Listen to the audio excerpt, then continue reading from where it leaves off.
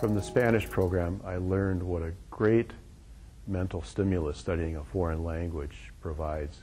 I've read studies where people say that there are two general things you can do to keep your brain sharp as you get older, and one is to adopt challenging games like chess or Sudoku or something like that. And the other one is learn a foreign language, learn a second language, I should say. I think experts have pretty well studied that and concluded that learning a second language is one of the most challenging things you can do. I've used my Spanish at work to help communicate with the staff at our facilities in Mexico. And one of the things that the staff there likes is when they call me, they don't need to get an interpreter because they can deal with me directly. The programs that I've taken at SCE have really broadened my horizons, whether it's professionally oriented classes or just what I like to call the fun classes, such as historic tours and dining programs, and hobby type classes such as photography.